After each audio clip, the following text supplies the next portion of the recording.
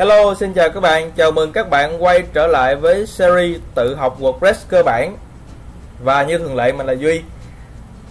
Thì hôm nay mình sẽ hướng dẫn cho các bạn cái nội dung là về quản lý chuyên mục và cái cách đăng bài viết mới. Rồi, thì cái nội dung này nó khá là đơn giản thôi. Các bạn chỉ cần làm theo mình là được ha. Rồi, bây giờ mình sẽ quay trở lại cái website của mình. Các bạn truy cập website bằng cách gõ đường dẫn là localhost 2.8080 suyệt WordPress hoặc nếu ai đang sử dụng WordPress trên hosting thì các bạn gõ cái tên miền của các bạn vào đây. Thì nó sẽ ra cái giao diện y chang như mình đây. Ở video này các bạn sẽ thấy uh, trên giao diện của mình có một cái bài viết. Chào tất cả mọi người đây là cái bài viết mặc định của WordPress tạo cho chúng ta. Cái bài viết này nó không có nghĩa gì hết việc các bạn cần làm là các bạn truy cập vào admin.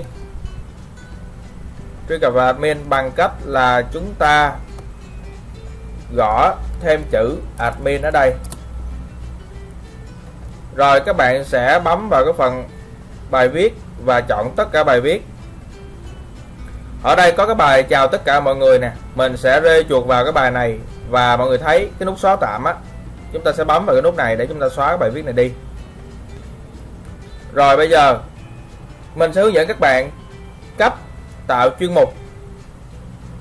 Thì à, để mình xem ở ờ, bên trang blog.kita.vn thì không thấy chuyên mục. Bây giờ mình sẽ hướng dẫn các bạn đi copy cái nội dung của cái trang khác ha là đẹp 365.com rồi, ở bên này nè, mình sẽ lấy cái chuyên mục ở bên này làm cái chuyên mục bên website của mình và cái nội dung của bên trang này mình cũng sẽ lấy để mà làm nội dung trên cái website của mình luôn. Rồi, các bạn sẽ tạo chuyên mục.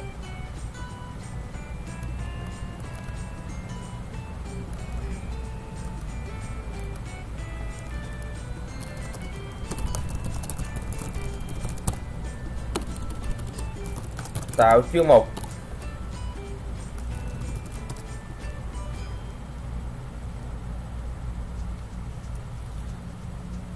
Thì bước đầu tiên là các bạn sẽ bấm vào cái phần là chuyên mục. Sau đó chúng ta sẽ tạo chuyên mục bằng cách là chúng ta nhập tên chuyên mục ở đây. Lưu ý là mặc định WordPress nó luôn luôn có một cái chuyên mục là chưa được phân loại, cái chuyên mục này không thể xóa được. Tức là tất cả các bài viết trên WordPress nó phải thuộc ít nhất một chuyên mục và nếu như chúng ta không có chuyên mục nào, thì những cái bài viết đó nó sẽ đưa vào một cái chuyên mục tên là chưa được phân loại. Các bạn lưu ý nha. Tất cả bài viết phải nằm trong ít nhất một chuyên mục. Và cái chưa được phân loại này là cái chuyên mục mặc định và chúng ta không thể xóa nó. Để tạo chuyên mục thì các bạn và qua cái trang đẹp 365 này, chúng ta rê chuột lên, chúng ta thấy, chúng ta có cái chuyên mục là xu hướng làm đẹp thôi, mình tạo hai cái chuyên mục này ha. Cái video thì à, mình sẽ hướng dẫn sau. Rồi, chúng ta sẽ chọn một cái chuyên mục là xu hướng. Nhập tên, chuyên mục vào, chuỗi cho đường dẫn tỉnh các bạn để trống. Chuyên mục hiện tại là các bạn để trống. Và chúng ta bấm thêm chuyên mục. Tiếp theo, trong xu hướng thì nó có bí quyết của sao và xu hướng mới. Rồi các bạn nhập bí quyết của sao. Ở đây bí quyết của sao? Bí quyết của sao đây các bạn thấy nó là chuyên mục con của thằng xu hướng. Cho nên là bên này các bạn sẽ chọn chuyên mục hiện tại tức là cái chuyên mục mà nó thuộc á chuyên mục cha á, thì các bạn sẽ chọn đây là xu hướng. Rồi chúng ta bấm thêm chuyên mục. Rồi các bạn sẽ thấy đây cái bí quyết của sao nó nằm thuộc vô một chút xíu so với thằng chuyên mục và nó có dấu gạch phía trước nè. Thì nhìn cái này là các bạn hiểu rồi, thằng nào là con của thằng nào rồi, đúng không? Rồi, tiếp theo mình sẽ tạo một cái chuyên mục là xu hướng mới.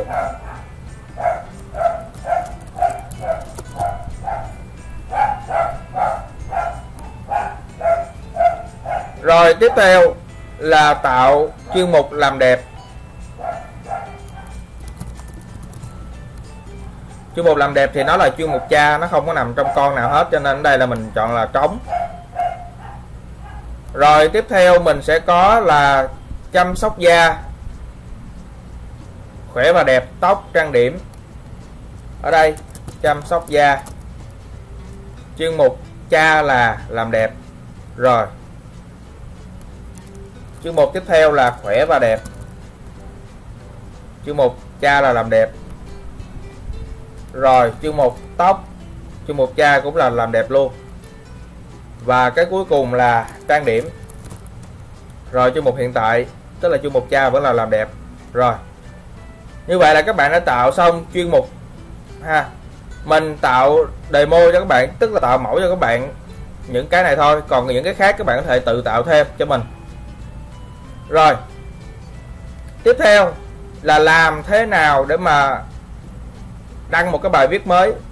Thì để đăng một cái bài viết mới, các bạn sẽ bấm vào cái cái nút là viết bài mới ở đây. Rồi ở đây chúng ta sẽ nhập tiêu đề bài viết, nhập nội dung bài viết và chúng ta chọn chuyên mục ở đây. Cuối cùng là chúng ta chọn ảnh đại diện ở dưới này. Thì bây giờ mình sẽ đi copy một cái bài viết ở bên đẹp 365 bây giờ mình sẽ vào cái chuyên mục là bí quyết của sao. Rồi mình sẽ giả sử mình đi copy bài này. Hai các bạn mở một cái bài mới ra. Rồi các bạn bôi đen cái tiêu đề. Rồi các bạn bấm vào nút copy. Rồi quay trở lại cái trang bài viết, các bạn bấm chuột phải, các bạn dán vào. Xong, tiếp theo chúng ta copy cái phần nội dung bằng cách là chúng ta bôi đen luôn toàn bộ, kể cả hình luôn. Chúng ta sẽ copy toàn bộ cái nội dung. Cho tới cuối cùng. Rồi, các bạn cũng bấm vào nút copy. Rồi, ở đây, qua bên này, phần nội dung chúng ta sẽ dán vào. Ủa? Chúng ta copy lại. Rồi, qua bên này chúng ta sẽ dán vào. Rồi, bây giờ chúng ta sẽ xem lại cái nội dung một lần nữa, xem có cái gì đó không đúng thì các bạn sẽ chỉnh lại. Hình ảnh này là đúng rồi. Có tấm hình này thì nó hơi nhỏ, các bạn xem lại xem lại cái bài gốc. Đây là cái nội dung được chèn thêm vào cái nội cái nội dung chính của bài viết, cho nên cái hình này không cần thiết, mình cũng xóa xóa cái hình này đi luôn. Rồi, cái hình ở dưới này cũng vậy, mình cũng xóa đi luôn. Hai cái video này, nó hiển thị nhỏ quá. Mình sẽ xóa luôn video. Rồi cái phần tác là cái phần tác của cái bài này không có để ở dưới đây, mình xóa đi luôn. Rồi bây giờ bước tiếp theo là chúng ta xem tới cái cột ở bên này. Phần chuyên mục chuyên mục của bài này là nằm trong cái phần là bí quyết của sao chúng ta sẽ chọn. Bí quyết của sao? Ở đây. Rồi phần thẻ thẻ tức là phần tác của nội dung bài viết. Các bạn kéo xuống phía dưới, chúng ta copy luôn cái phần thẻ ở đây.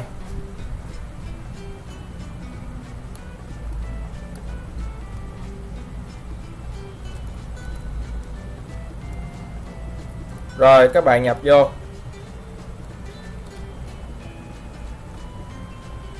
Chúng ta bỏ cái dấu thăng ở phía trước đi. Rồi, mỗi cái tác thì nó phân cách nhau bởi dấu phẩy. Chúng ta phẩy một cái. Rồi, các bạn bấm nút thêm. Đó, thì ở đây nó sẽ ra hai cái tác. Một cái là xu hướng thẩm mỹ, hai là cái xu hướng làm đẹp rồi cuối cùng là cái phần ảnh đại diện. Thì ảnh đại diện chúng ta quay trở lại bên này chúng ta lấy cái ảnh đại diện. Mình sẽ lấy cái ảnh đầu tiên làm ảnh đại diện. Để chúng ta uh, khoan mình quay trở lại cái trang này xem ảnh đại diện của nó là ảnh gì. Đây mình sẽ lấy cái ảnh này làm đại diện. Các bạn để copy ảnh đại diện thì chúng ta click chuột phải vào. Các bạn lưu lại cái hình ảnh xuống máy tính của mình.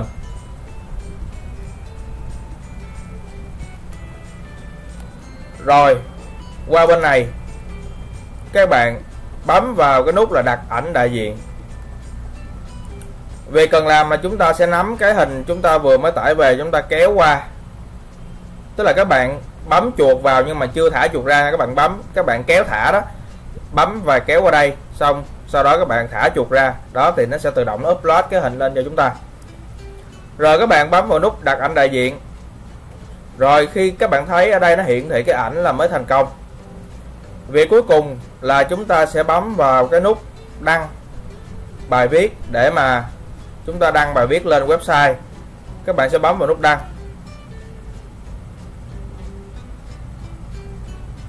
Rồi bây giờ chúng ta sẽ mở cái trang web của chúng ta ra xem coi nó có bài viết chưa ha. Đây các bạn thấy đây nó có một bài mới mình vừa mới đăng nè. Đó Nếu mà xem chi tiết thì bấm vào cái tiêu đề hoặc là bấm vào cái nút đọc thêm để mà xem đầy đủ nội dung. Còn ở trang chủ thì nó chỉ hiển thị là cái gì? Cái hình đại diện của cái bài viết cái tiêu đề cái thông tin của bài viết và cái nội dung à, rút gọn cái nội nội dung à, đại diện của cái bài viết và cái nút đọc thêm. Đó còn nếu mà coi đầy đủ thì các bạn sẽ bấm vào. Rồi chúng ta kéo từ trên xuống dưới chúng ta xem. Đó. Thì đây nó hiển thị hai cái tác còn ở đây, bí quyết của sao này là cái chuyên mục. Rồi bây giờ mình sẽ đăng thêm khoảng hai bài nữa để mà cho website của chúng ta có nội dung, nhìn cho nó đầy đủ hơn ha. Hiện tại có một bài thôi thì nhìn nó hơi chán mình sẽ đăng nhanh nha các bạn. Các bạn chú ý cái cách mình thao tác rồi chúng ta sẽ làm theo thì nó sẽ rất là nhanh. Bây giờ mình sẽ đăng tiếp uh, cái bài viết này.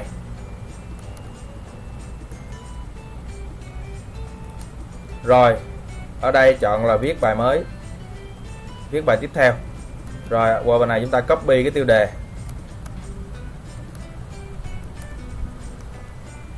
Dán tiêu đề vào đây rồi sau đó, copy toàn bộ nội dung luôn, kể cả hình. Bài bài này có vẻ hơi dài.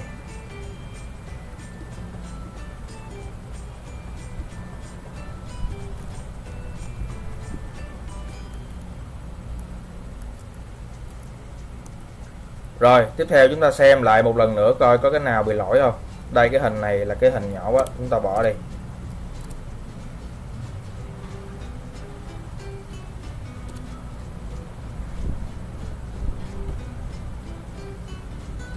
Nội dung bài này có vẻ hơi dài. Rồi, tiếp theo là các bạn chọn chuyên mục thì cái bài này nó vẫn là nằm trong chuyên mục bí quyết của sao. Rồi, tiếp theo là phần thẻ của bài viết.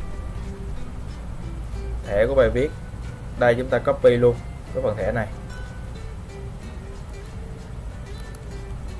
Chúng ta dán vào đây rồi cái chỗ dấu thăng này chúng ta xóa và phân cấp bằng cái dấu phẩy. Ở trên dấu thăng cũng xóa luôn. Rồi, chúng ta bấm nút thêm. Rồi cuối cùng là cái hình đại diện. Thì quay ra trở này, đây là cái hình đại diện của bài này. Mình sẽ lưu lại.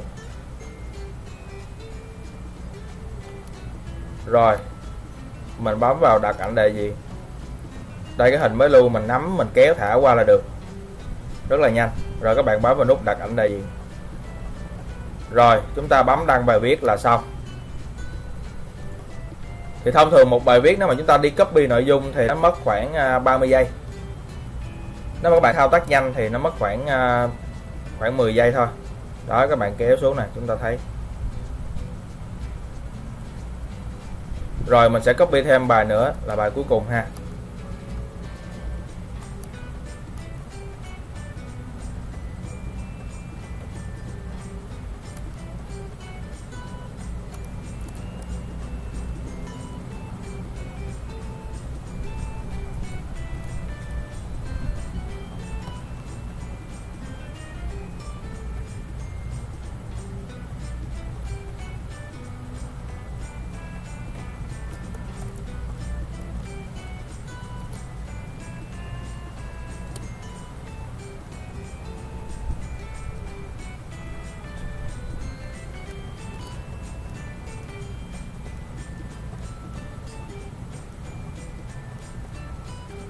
Rồi bài này cũng nằm trong chuyên mục là bí quyết của sao.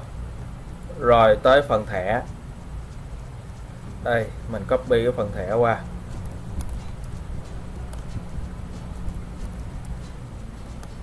Thay cái dấu thăng bằng dấu phẩy.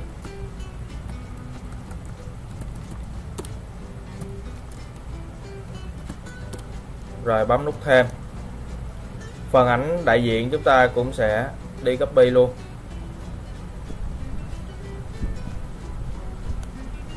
Chúng ta lưu cái hình này lại. Rồi, ở bên này các bạn kéo qua. Rồi, các bạn bấm đặt ảnh đại diện rồi, bấm đăng là xong. Rồi, ra trang chủ chúng ta F5 lại xem, nó có gì thay đổi. Đây, các bạn thấy bài viết mới đã được đăng. Đó, rồi mình xem chi tiết thì mình bấm vô đây. Rồi, các bạn sẽ kéo từ trên dưới chúng ta xem nội dung.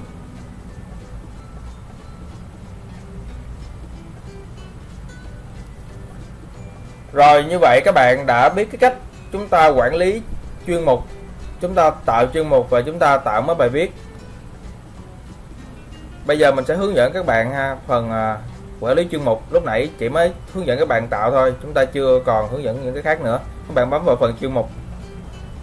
Đây ở đây khi mà tạo rồi nè tạo rồi xong xuôi hết rồi thì các bạn có thể làm gì nữa. Các bạn nếu chúng ta tạo sai thì các bạn có thể bấm vào chúng ta xóa ha hoặc là chúng ta xóa nhiều thì chúng ta chọn hàng loạt ở đây. Và chúng ta ở cái trên à, nút tác vụ á, các bạn bấm vào các bạn chọn xóa và chúng ta bấm áp dụng để chúng ta xóa hàng loạt. Còn không thì mình xóa từng cái bằng cách rê chuột vào cái nào thì nó hiện nút xóa ở cái chỗ đó thì mình xóa thôi. Để chỉnh sửa để chỉnh sửa chuyên mục thì các bạn sẽ bấm vào cái nút chỉnh sửa ở đây.